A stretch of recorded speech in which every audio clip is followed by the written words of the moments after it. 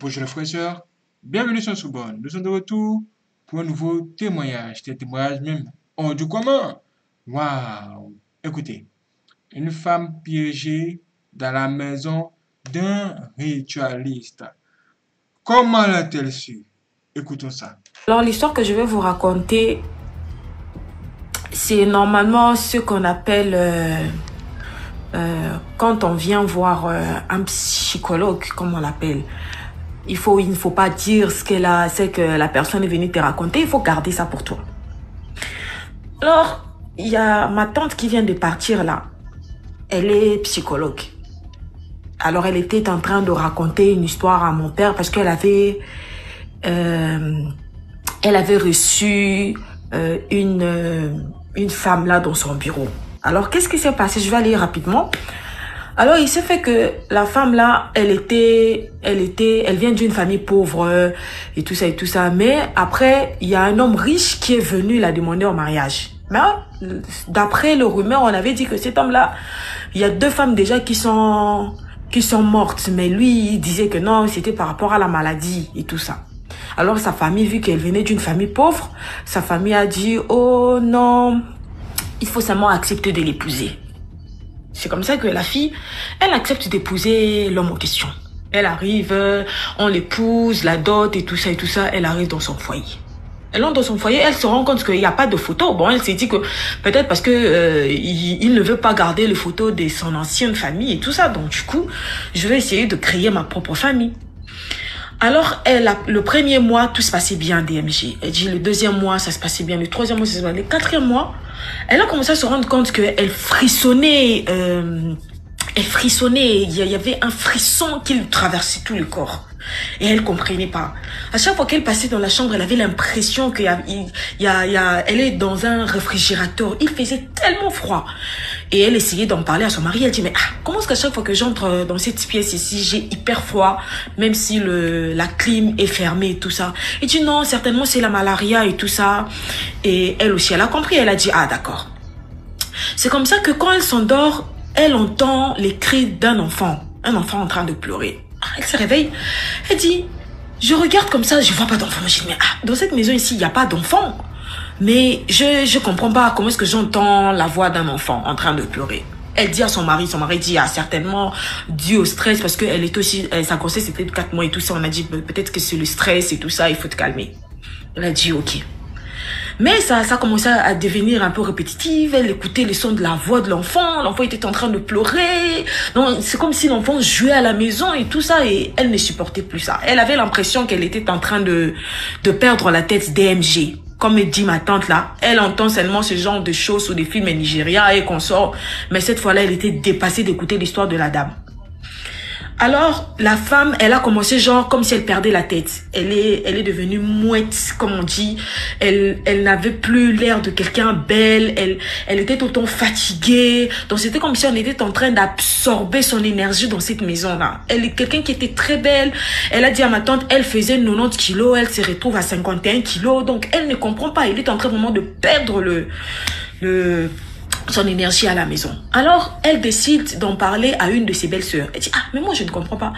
À chaque fois que je suis dans cette maison-là, voilà ce que j'entends dans cette maison-là. Son mari dit, ah, arrête, tu deviens folle. Tu es en train de parler toute cette histoire-là. Les gens vont croire comme si c'est vrai. C'est juste de la dépression. Une femme grosse, c'est tout à fait normal que ça arrive.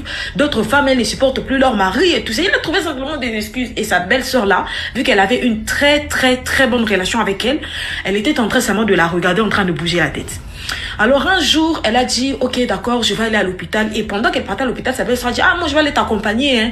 Tu vas aller à l'hôpital avec moi. Alors, c'est en route qu'elle dit, l'enfant là que tu entends les cris dans cette maison-là, tu, tu, tu as déjà euh, vu son visage. Elle dit, oh non, je n'ai jamais vu son visage, mais j'ai, j'ai, j'ai l'impression de voir de l'ombre dans la maison et tout ça. Mais peut-être c'est la grossesse, vu que c'est ma première grossesse. C'est comme ça que la fille lui remet la photo d'une petite fille. Elle dit, il faut garder très bien cette photo dans ton sac, de façon que ton mari ne trouve pas, qu'il ne trouve pas la photo. Elle elle dit, d'accord. Oh, pourquoi elle dit, c'est juste pour ton intérêt, pour ton bien. Ne montre jamais cette photo à ton mari. Un jour ou l'autre, tu vas, tu vas me rappeler. Elle dit, ok. elle part aussi là-bas au kilo. Elle monte les kilos et puis elle revient. Quand elle revient, elle trouve que la maison est calme. Elle dit, ah bon, elle allume la télé, mais ça recommence encore. Alors cette fois-ci, c'était compliqué DMG. Ma tante a dit, quand elle était en train de parler, la dame, elle frissonnait, elle avait peur, elle tremblait. C'était comme si elle vivait le pire cauchemar de toute sa vie DMG. On dirait Scream Game. Alors elle dit, pendant qu'elle était en train de dormir, elle voit le, comment on appelle, la petite fille venir la frapper. En train de la dire, euh, maman, maman, sort de cette maison, maman, maman, sort. Et elle, elle comprenait pas parce qu'elle, elle, n'a pas encore mis au monde. Mais elle est en train d'entendre euh, le cri d'un enfant lui disant, maman, maman, il faut sortir. Elle, elle pensait qu'elle dormait. Mais bizarrement, elle entendait ça vraiment dans ses propres oreilles, elle entendait. Elle sursaute comme ça. Elle s'est dit, mais qu'est-ce que je viens de voir là? Elle regarde la photo, elle se rend compte que c'est la fille a le même trait avec la petite là sur euh, le, la photo. Elle appelle sa belle-sœur. Elle dit, tu dois me dire ce qui se passe dans cette maison. Sa belle-sœur dit, hum, moi si je te dis, ma famille va me lapider. Donc je ne préfère rien dire parce que ta famille, ma, euh, ta, ton mari n'aime pas qu'on puisse en parler. Elle avait tellement insisté, pardon, il faut m'en parler. Elle devenait comme une folle, elle était en train de crier et tout ça. Sa, sa belle-sœur a dit, en tout cas, moi, je ne peux pas te parler, mais avec le temps, toi-même, tu vas, tu vas comprendre ce qui se passe dans cette maison-là. En tout cas, moi, si c'est moi, je vais te conseiller de quitter la maison. Mais elle était pauvre, elle venait d'une famille pauvre. Elle appelle sa maman, elle dit, maman, en tout cas, dans cette maison-là, il y a quelque chose qui ne va pas. Je quitte de 90 kilos à 51 kilos. Maman, il y a quelque chose dans cette maison qui ne va pas. Sa mère dit, mais tu es malade, tu veux retourner chez moi à la maison. Ici, il n'y a plus de place pour toi, il faut rester là-bas chez ton mari. Vous, les gens qui sont, qui sont déjà euh, habitués dans la pauvreté, une fois que vous goûtez la richesse, pour vous, tout de la sorcellerie. Il faut rester chez ton mari. Tu es enceinte. Tu ne sais pas aujourd'hui si tu es une femme divorcée qui va t'aimer avec l'enfant et tout ça. Sa mère, on avait tellement mis la pression qu'elle a dit, ok, d'accord. Alors, son mari a commencé à à la fermer à la maison pour ne pas sortir. Donc, il a, il a empêché de voir le monde extérieur. Il y avait des gens qui ne pouvaient plus venir la rendre visite. Elle devenait, c'était comme si elle, elle était en train de de devenir folle en fait dans cette maison là. Seul son mari avait le droit de d'entrer dans cette maison. Alors la grossesse est arrivée à sixième mois, au sixième mois. Elle dort, elle voit sa belle-mère. Elle dit à ma tante, j'ai vu ma belle-mère au-dessus de moi. C'était comme si c'était une mari de nuit une femme de nuit comme ça là, elle était au-dessus de moi. J'ouvre les yeux, elle n'était pas là. Et c'est comme ça qu'elle s'est rendue compte qu'elle a perdu. Elle a, elle a, elle a, elle est en train de couler le sang. Et en coulant le sang et tout ça et tout ça et tout ça, elle a crié, allez, venez, venez, venez, venez, venez. Alors le travailleur était obligé d'entrer dans la maison pour voir ce qui s'est passé. Elle s'est rendue compte que elle a dit 15 heures. Elle a vu ça. On l'a amenée à l'hôpital. C'est comme ça qu'elle trouve euh, ma tante là à l'hôpital. On dit, on va te conseiller quelqu'un parce qu'on a comme l'impression que tu perds la tête. Et elle commence maintenant à raconter l'histoire à ma tante. Elle dit, voilà ce qui se passe dans cette maison, voilà ça, voilà ça, voilà ça, voilà ça. Mon mari ne m'a jamais dit comment ces deux femmes sont mortes. Il a toujours dit que non, c'était la maladie et tout ça. Mais j'ai l'impression que moi là-bas, ça ne va pas, je vais mourir. Il faut que je retourne chez moi. Et ma tante a dit, moi, en tout cas, ce que je peux te conseiller, c'est un pasteur. Invite un pasteur pour venir prier chez toi. Elle dit, mon mari ne va pas vouloir parce que mon mari m'a interdit l'hôpital, comment on appelle, l'église et tout ça et tout ça. En tout cas, il m'a interdit, j'ai pas le droit de voir euh, le monde extérieur. Elle dit, mais tu n'as pas le choix. Tu dois appeler un pasteur de venir prier dans ta maison parce qu'il y a quelque chose qui se passe dans ta maison que toi, tu ne sais pas. Il y a quelque chose qui passe. J'ai comme l'impression que ton mari cache des choses lourdes dans ta maison là-bas. Elle, elle dit, ok. Elle, c'est comme ça qu'elle quitte euh, l'hôpital. Elle revient à la maison. Elle essaye d'amadouer son mari. Alors comme elle a dit, j'ai essayé d'emmadouer mon mari et tout ça. Oh non, je vais appeler euh, mes frères, ils vont venir me rendre visite. Alors que parmi l'un de ses frères, il y avait un pasteur qui était à l'intérieur. Parce qu'elle voulait pas dire que ce sera un pasteur qui va venir. Alors le pasteur et ses amis et ses frères sont venus. Ah bon, comment tu vas? Oh très bien. Tout bon, je vais vous laisser avec votre belle-sœur. Je veux quand même partir. Et son frère se, se rend compte que sa sœur a maigri, elle est moche. Donc tu sens que c'est quelqu'un qui commence maintenant à perdre la chair. Tu dis mais qu'est-ce qui se passe? C'est comme ça que, euh, comment on appelle, l'un des pasteurs qui était là, il a dit, je suis en train de sentir l'esprit maléfique quelque part ici. Pourquoi est-ce que je suis en train de frissonner quand j'entre dans cette pièce? Elle dit, je pensais que j'étais folle. À chaque fois que j'entre dans cette pièce, j'ai frissonné, j'avais des frissons comme pas possible. Mais j'ai vite compris qu'il y a quelque chose qui se passe dans cette maison. Elle a dit, non, mais il fait froid. Est-ce que les clims sont ouverts? On dit, non, les clims ne sont pas ouverts, c'est fermé. DMG, le type là, il a commencé, il a fermé le jeu, il a commencé à parler en langue. Les gens trop spirituels, eux, ça c'est directement l'attaque direct. Eux, ils ne plaisantent pas, ils partent pas. Oh Jésus, comme ça, direct dans le langue des anges.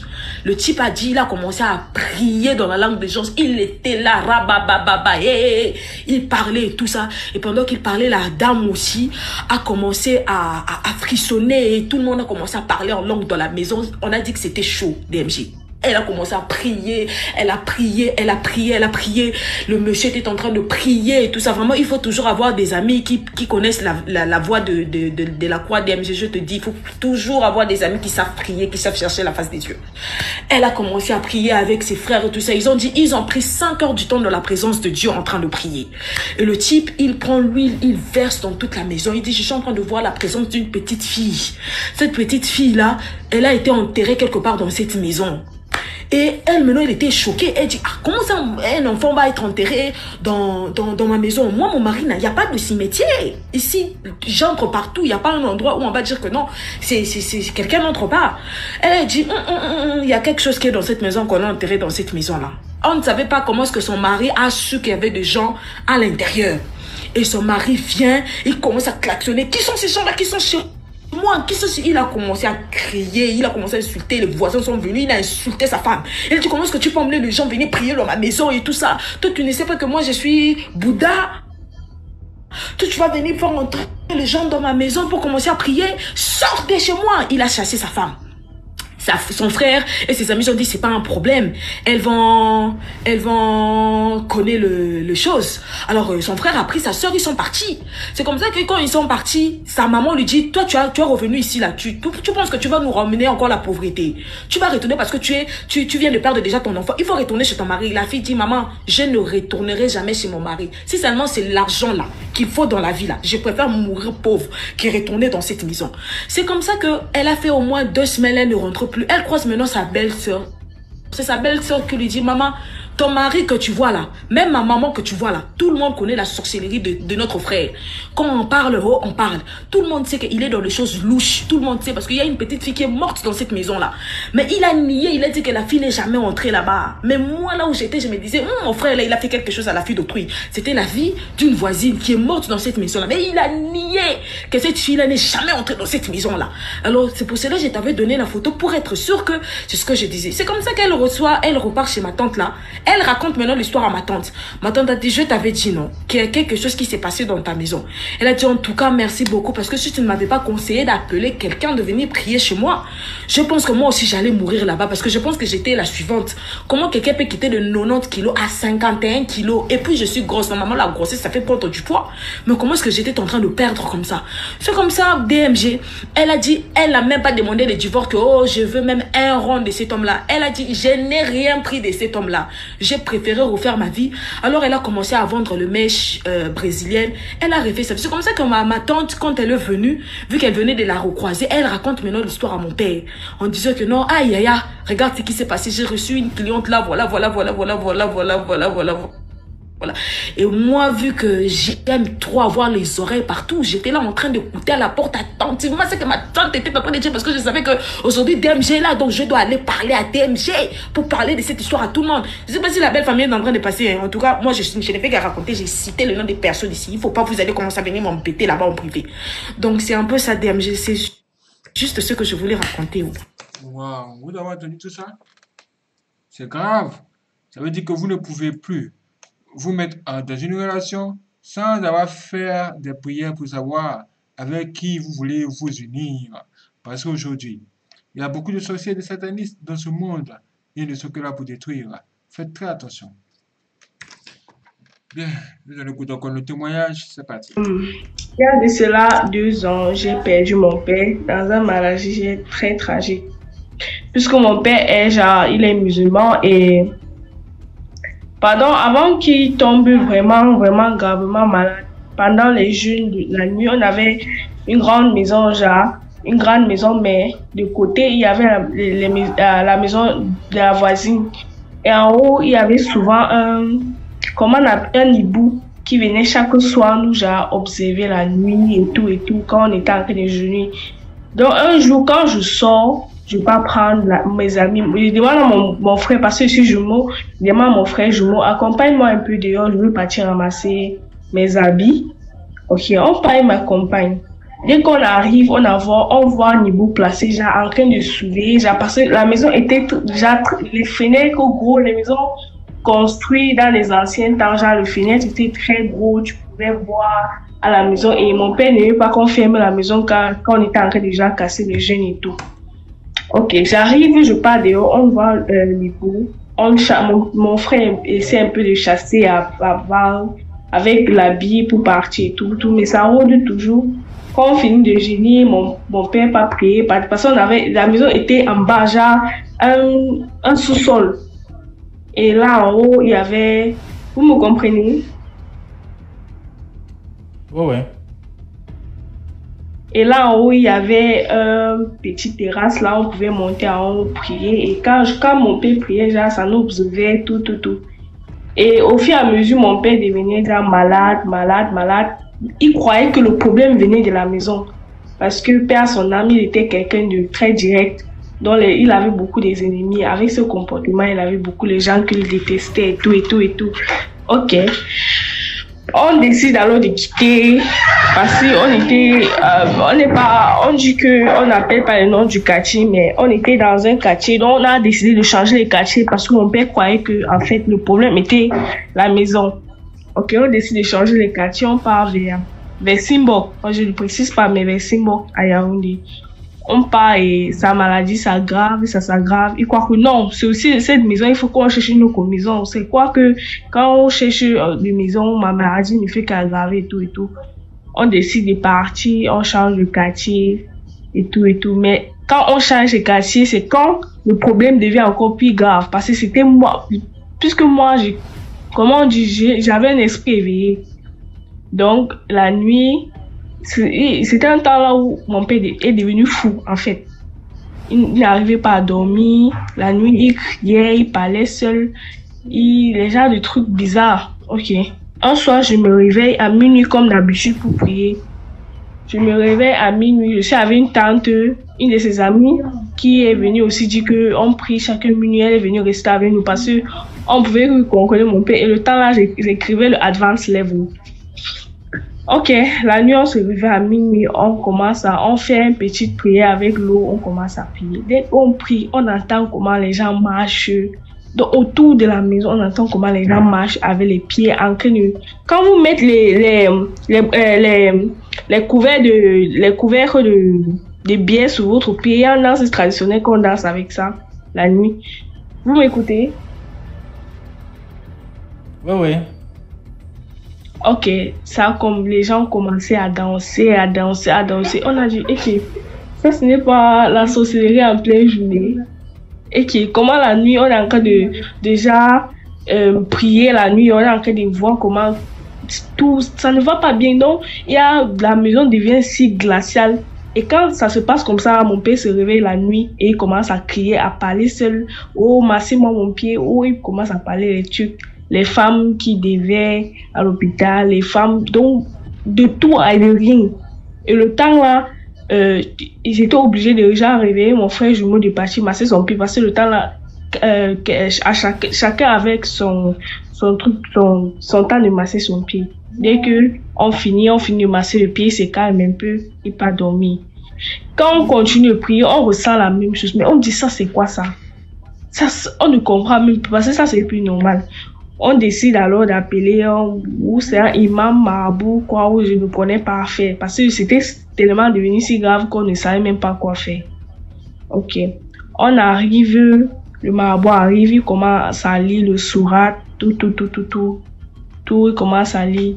Il quitte, il dit que le problème sort de la famille, il commence à raconter que le problème sort de la famille, que c'est le grand frère de mon père, tout ça là. Ha. On arrive, on lui décide de mettre dans un hôpital public. Quand on arrive, le docteur dit que c'est les problèmes de nerfs. DMG. On a enlevé mon père de l'hôpital, on l'a amené dans un hôpital à Bamenda. Et le même jour-là, je ne veux pas, je ne sais pas si c'est un coïncidence ou quoi. Le même jour-là, le grand fait là que le pasteur est venu dire que c'est la cause pourquoi mon père était mort, est venu demander la photo de mon père le jour-là. demandait genre, persistement, mais pas avec la force. Genre, quelqu'un lui donne à sa volonté. Tu vois? Donc, je ne comprenais même pas. Dès que mon petit, le, dans mon petit nez, dans mon petit frère, le sixième nez, a remis la photo. Je te dis, après, le jour là, à minuit, je me suis réveillée, j'ai senti, parce qu'il y a une manière que mon père nous réveille pour partir dormir, il nous tapait, tapote en bas de nos pieds. Dès que je sens, ressens ces sentiments, je dors, je dis, je me réveille, je prie. Je me lève vers 2 heures du matin, j'attends comment, parce que mon frère, mon père avait deux femmes, j'attends comment la deuxième femme arrête de pleurer dehors. Elle dit que, que c'est quoi? Elle dit que mon père c'est en coma.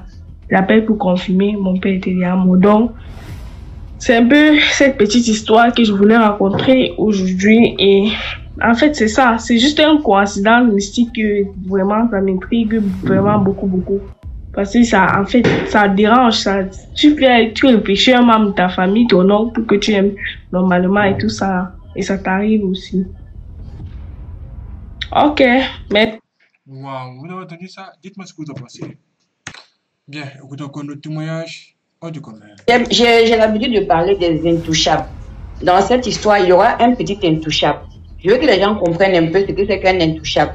C'est-à-dire un intouchable, c'est celui que hein, Dieu a vraiment sa main sur lui. On ne peut pas l'initier. On ne peut pas faire quelque chose de mal, sauf si Dieu même lui-même décide en ce temps-là de prendre. Donc, bref, c'est l'histoire d'un monsieur que je vais appeler Bastien. Bastien, a eu trois enfants avant de croiser sa, sa nouvelle femme que je vais appeler Naturelle. Et Naturelle, c'est une femme qui prie. Avec Bastien, elle a fait deux enfants. Et quand il a commencé avec sa femme, la femme, c'est vrai qu'elle prie, mais à un moment donné, tout a commencé à se gâter dans la maison. Tout se gâtait en telle enseigne que Bastien, il, a, il allait contacter un homme de Dieu. Le monsieur lui a dit, pour son problème, pour prier, il faut prendre, il va prendre 200 000 francs. Le gars s'est débrouillé. Il a donné les 200 000 francs. Le monsieur a prié, mais rien n'y a fait. Quelque temps après, il a même perdu son boulot. Donc, il a, il y galérait tel que, il est parti voir le monsieur. Le monsieur lui a dit, ah, que le problème là est tellement sérieux que, faut venir avec toute ta famille et je prendrai 100 000 francs par personne pour prier.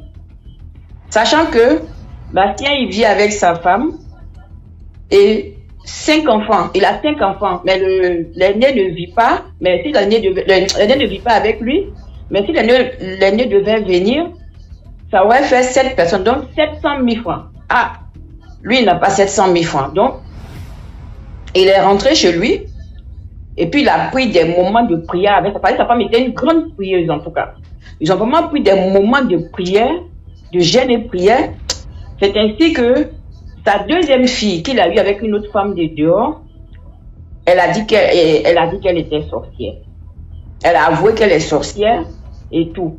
Bon, comme Bastien, lui, c'est vrai que la petite a avoué qu'elle est sorcière, mais n'ayant pas les capacités de délivrance, il a cherché un camp de prière et c'est là-bas il est parti avec toute sa famille, sauf son fils aîné qui n'était pas là. Donc ils arrivent dans ce camp de prière-là. et Le, le serviteur de Dieu va vraiment confondre la fille. Il va dire que la petite, elle est sorcière, que c'est vraiment une grande sorcière. Et on va lui demander de passer aux aveux. Elle va dire que c'est la maman de son papa Bastien, là, qui l'a initié à la sorcellerie. Donc, la petite, elle est dans, dans le groupe de sa grand-mère paternelle, mais elle-même, sa propre mère biologique qui est dehors, est sorcière. Et son grand frère, le fils aîné de Bastien, est sorcier. Et comme la maman, euh, elle a perdu Bastien, étant donné que il s'est marié à une autre femme, quand elle a compris que sa son ex-belle-mère avait initié sa fille, que je vais appeler euh, Cathy, elle va profiter pour dire à sa fille de gâcher le mariage de son papa. Mais elle-même, la maman là, ça peut dire c'est même père, même mère aussi est sorcière. Donc lui, il avait fait enfant avec une femme sorcière. Lui, mais sa maman, elle est dans la sorcellerie.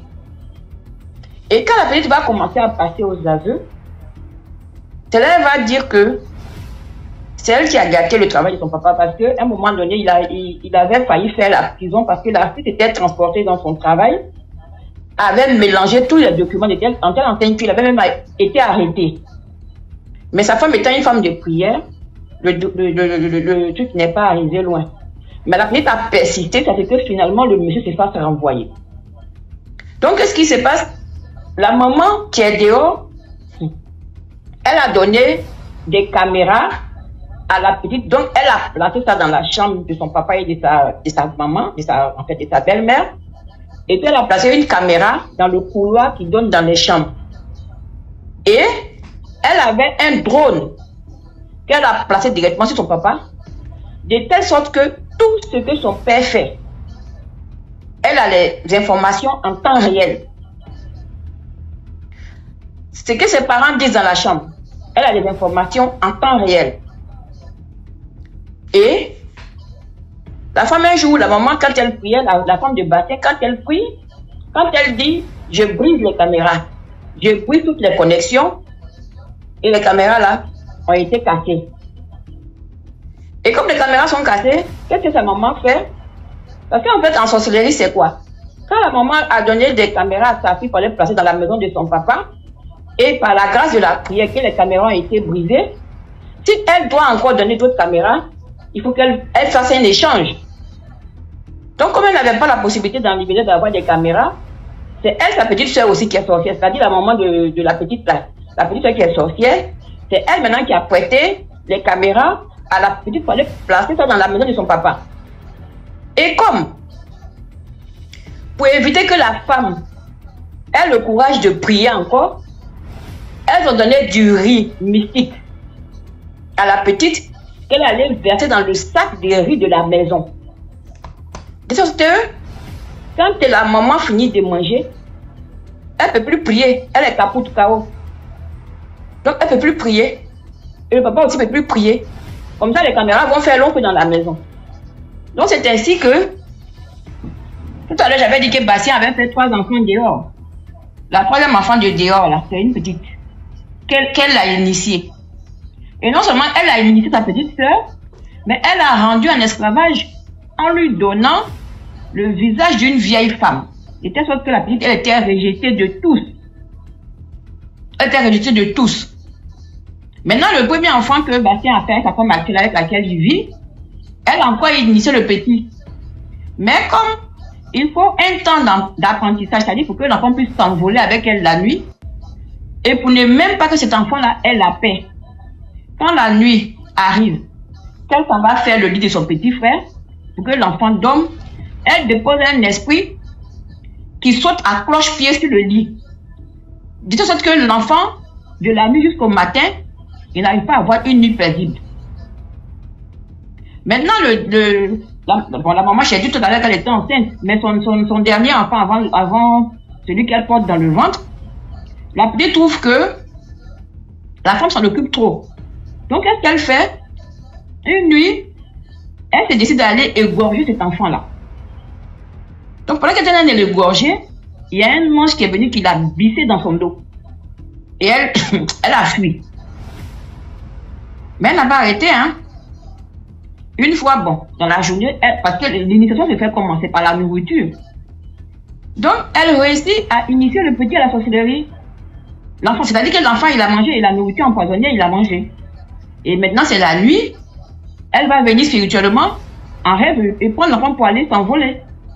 Sauf que quand elle arrive la nuit, le petit n'est plus sur sa couche. C'est-à-dire, non, j'ai venu le porter, quoi. Il n'a pas, il n'a pas pu partir. Donc, elle programme son père, bon, c'était en janvier 2023, là, à la mort. Et le petit, comme elle a raté une première fois, elle le reprogramme pour février. Et la chance qu'ils ont, c'est que c'est fin 2022 là, que le papa a eu l'idée d'aller dans ce camp de prière là. Et la petite, non seulement, c'est-à-dire qu'elle est dans le groupe de sa grand-mère, dans le groupe de sa maman, c'est-à-dire elle est missionnaire pour sa mère biologique, à l'église où elle va là-bas là, il y a une maman d'église. C'est-à-dire dans leur clan de l'église, il y a les trois enfants de la prophétesse, le fils du pasteur et la maman de l'église. Donc elle, sa mission, c'est quoi? Comme les cultes sont les dimanches, le samedi nuit, elle vient, elle envoûte toutes les chefs de l'église. C'est parce que le pasteur lui vient, il prie, les prophéties sonnent, mais très peu sont bénis. Et la petite dont je parle elle n'a même pas 13, elle a même pas 13 ans. Elle a tué plus de 200 personnes. La sorcellerie, c'est pas du jeu. C'est une réalité. Mais ce que je dis à chaque fois là, chaque parent, s'il regarde bien son enfant, va savoir quelque chose qui va pas cet enfant il va savoir qu'il y a un problème avec l'enfant. En général, on aime bien dire, ah, les enfants de maintenant sont têtus. Ah. Comme on dit là, je fais un grip, la têtuesse là. C'est une variante de la sorcellerie. C'est-à-dire, même ton propre voisin il- il peut initier ton enfant. Donc, priez pour vos enfants tous les matins et tous les soirs. La prochaine fois, je vais te raconter l'histoire de la femme. Waouh, vous avez entendu cela C'est vraiment très grave. Bien, nous écoutons encore le témoignage, c'est parti. On aimait un peu les grooves, les shows à Libreville et tout. Donc un jour, on a, on, un jour, on avait dit que bon, on va un peu aller s'amuser dans une boîte de nuit, dans une boîte de nuit de la place. Donc on a dit qu'on devait aller s'amuser dans une boîte de nuit de la place à Libreville. Donc on a commencé comme ça, on a commencé le show. Mais elle, la go, à chaque fois qu'on part en boîte de nuit, nous on va pour s'amuser, madame, elle, elle va vous chercher les hommes. Elle va toujours chercher ses hommes. Donc on a commencé à s'amuser, le groupe, on a dansé, dansé, dansé. Donc c'est comme ça qu'à un moment, la serveuse nous emmène les champagnes à la table. On commence à boire, boire, on demande à la serveuse, mais ça c'est qui? Elle nous montre la personne en question, DMG, regarde le gars sombre. Sombre, que tu ne veux même pas t'approcher même hein, du gars, que quand tu regardes, tu sens que c'est le gars qui ne traîne jamais dans Libreville, qui est toujours dans les grosses voitures. Bon, elle a commencé à tiquer que Hum, ça, ça peut être un bon pain pour moi. Donc, oh. ok, nous on continue à boire, à boire. À un moment, la go se déplace. Elle est assise à la table du gars. Oh. Bon, nous on s'en fout, on continue à fêter, on continue à faire le bruit, on est toujours dans le bruit. Tout d'un coup, elle revient à nos tables. Oh, le gars m'a donné son numéro, machin. En tout cas, c'est un bon pain. Ok, on n'a pas géré le truc, on est resté. On est resté à boire toute la nuit. On est rentré chez nous. Le lendemain, la go nous appelle que oh, le gars, est venu faire le shopping. Brésilienne, aux vêtements, au tout. En tout cas, il a acheté. Il a acheté, acheté, acheté, acheté, acheté. Le soir, ils nous emmenés au restaurant. On a profité. La copine a trouvé le pain qui a l'argent. On a commencé à manger avec lui. On a mangé avec elle et tout. Il a fait ça pendant deux jours, le shopping pendant deux jours. Le troisième jour, le gars lui a dit que bon, tiens, je te donne la robe là, je venir te chercher le soir, tu vas dormir avec moi. Ok, il y a pas de souci, donc elle nous raconte ça. On lui dit que toi tu es sûr que tu vas aller chez le gars sombre là. Oh oui, machin, en tout cas il est déjà bien chiffré pour moi, il n'y a pas de souci. Ah ok. DMJ, elle est partie chez le gars, je ne sais pas ce qui s'est passé là-bas. Peut-être que le gars l'a framponné. Hum. Moi quoi? Le lendemain, elle m'appelle, elle me dit, ma chérie, tu es où? Tu peux venir chez toi, pardon, les carottes sont cuites. Je dis, ok, y a pas de souci. Elle est venue à la maison d'M, la go transpirait. Elle transpirait, elle était même en petite robe encore de chambre. Je pose la question que, mais ma chérie, qu'est-ce qui s'est passé là-bas? Elle me dit que non. Elle me dit que non, ma chérie, c'est que le gars m'a fait. Si on peut même nommer, peut-être on peut donner quoi? John. Elle me dit c'est que John m'a fait. Ma chérie, laisse. Qu'est-ce qui s'est passé? Elle me dit non, on est arrivé, machin, on est arrivé chez lui. J'ai mangé, on a bu du champagne, après on a un peu discuté sur la vie. Tu connais les hommes vieux là de Libre, ils toujours te parler de la vie. Ils ont parlé de la vie. Tout d'un coup, quoi le gars l'a framponné. Je sais pas si j'ai le droit de dire ça en direct. hein. Le gars l'a framponné, framponné d'une manière qu'elle laisse. Elle-même, elle, n'en pouvait plus. Le matin, quand elle s'est réveillée d'MJ, elle est tombée sur un vieux sale. Court, sale. Le gars était vieux, sale. La maison là où ils étaient, là, c'était plus la maison, là, ils étaient dans une sale maison. Dans les PK, les PK12, là.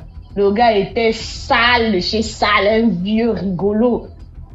Elle-même, elle se réveille le matin. Elle regardait dans un endroit où c'est pas le même endroit où elle était la veille. Elle réveille le gars et pose la question au gars qui marche mon frère. Papa, le gars lui dit que ma chérie, chercher, trouver, oh, que toi et moi là, c'est jusqu'à la gare. Ce que tu m'as donné hier là, j'ai déjà ça sur moi. Je sens que, oh. Je dis à la que quoi c'est Elle me dit, laisse, c'était pas le même gars. Le gars semble que, oh, je voyais un peu qu'il était frais là. Ça, c'était un sale. Je lui ai dit que ma chérie, c'est ce que tu ne veux que faire là, ça allait laver le corps, hein.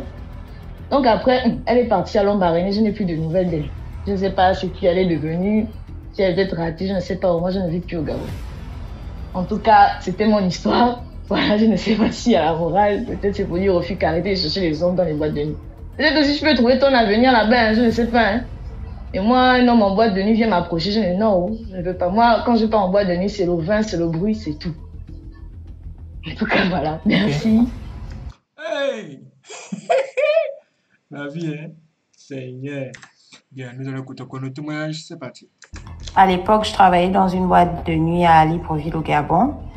Et il y avait une jeune fille euh, métisse, quand elle arrivait en boîte et tout, elle, a, elle avait vraiment, elle attirait l'attention sur elle, elle était toujours très bien accompagnée et tout. Et un jour, euh, je vais chez une de mes copines qui habitait euh, pas très, un peu hors de Libreville, à, euh, vers euh, le Cap. Et c'est comme ça que j'arrive chez elle et puis dans le quartier, on, on est là, on boit et après il y a une de ses tantes qui arrive. Et quand euh, on- après on s'est déplacé, on allait chez sa tante. Quand on arrive chez sa tante, je vois la photo de la fille, de la la la, la, la, la jeune dame euh, métisse et tout, avec un jeune monsieur et tout. Et je demande que oh c'est votre parente et tout parce qu'on est on- en fait on allait dans la chambre de sa tante. Elle me dit non c'est c'est c'est sûrement une amie à ma tante et tout. Je dis ah ok d'accord. Donc euh, les, les les jours passent, les années passent et tout. Et un jour je revois la fille dans Libreville. Seigneur Jésus. Elle était amaigrie, elle avait changé. Je ne comprenais pas, j'étais choquée. Je me suis dit, attends, c'est la même fille ou quoi?